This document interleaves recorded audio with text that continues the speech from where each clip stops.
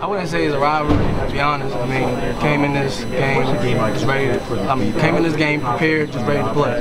Uh, they probably was hyped up. We were hyped too. Of course, any team that beat us, we want to get back at them. You know what I'm saying? But I want to say they're rivalry. You know, we always had that swag. So. At the end of the day, knows. Me personally, I I felt like I wanted revenge. You know?